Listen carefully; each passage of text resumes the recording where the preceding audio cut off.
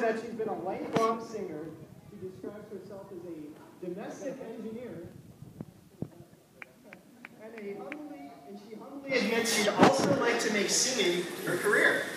She's accompanied by longtime area guitar instructor and performer Mike Young.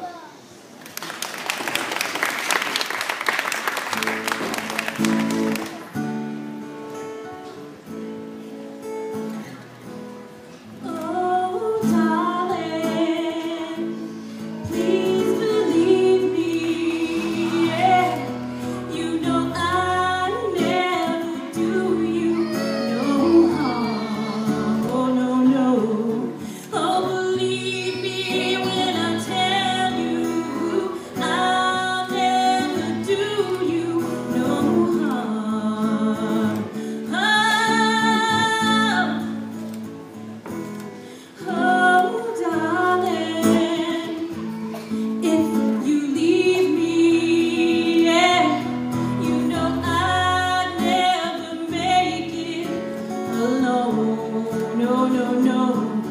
Oh, believe.